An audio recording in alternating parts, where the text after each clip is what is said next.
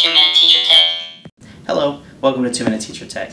My name is Adam Howard and today I'm going to give you a very brief introduction and overview of Google Classroom. If Google Classroom has recently become available to you and you want to know what all the fuss is about, I'm going to give you a very brief run through of the program and its features. Google Classroom is the coolest thing to happen to teaching in a long time and you're going to want to start using it today. So let's get started. Alright, the first thing you want to do is to make sure that you're signed in with your school Gmail address. Then you're going to type in Classroom, click the tab, and there you go, and you're going to select Teacher. Now this is going to take you to your home page.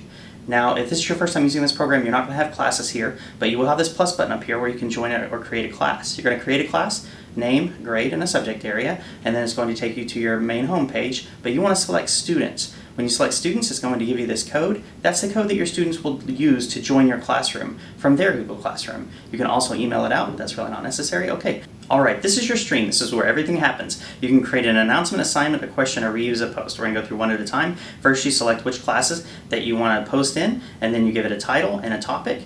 There you go. You can create a topic. This is a great place to put a strand or your standard so you can search for it later, and then you can add an attachment from your computer or from your G Drive there you go. Or you can do it directly from your G Drive with this button. Or you can add a YouTube video. You can search YouTube with the search bar or just copy paste a URL of your video here and then you hit add. There you go. And then you just hit post at the bottom and it posts just like Facebook. There you go. Alright, we're going to delete that and then we're going to create an assignment which works the same way. You select a class, give it a title, instructions, and then you give it a due date. Uh, you can give it a due date here and then a topic once again and then you can add the same things here. Add from your computer, add a YouTube video, or add a link. There you go. And once you assign it, you can schedule it. If you are going to be out the next day and you want to schedule it to assign the next day, you can do that there. There you go. Delete this out of here.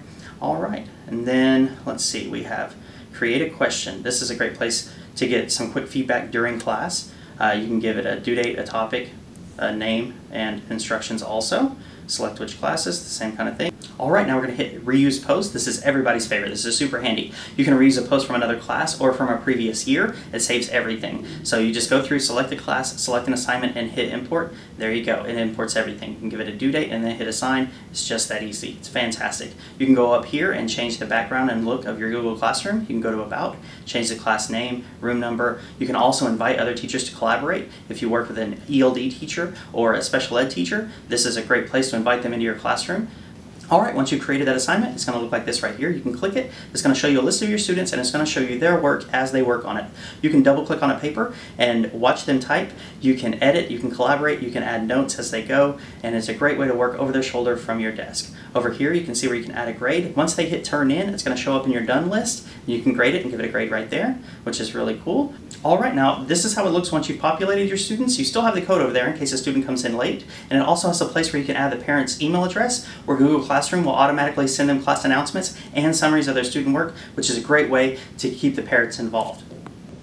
Alright, well that does it for a brief introduction and overview of Google Classroom. I hope that this has given you the confidence to get started. There's so much you can do and there's so much utility in the program that I know it will benefit you and your students in your classroom. I hope that you found this video helpful. If you have, please hit like and subscribe below. And each week, 2 Minute Teacher Tech will bring you the latest in classroom technology and teacher hacks in a concise and easy to follow way that respects your time budget. Thanks, and we'll see you next week.